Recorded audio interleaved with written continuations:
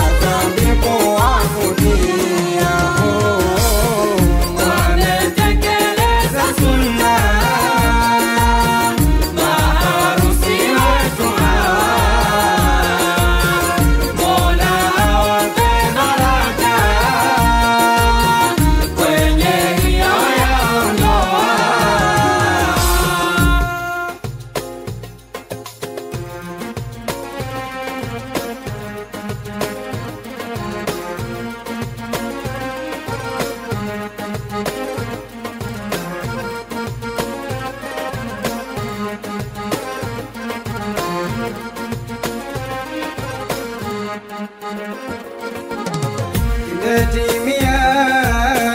me timiya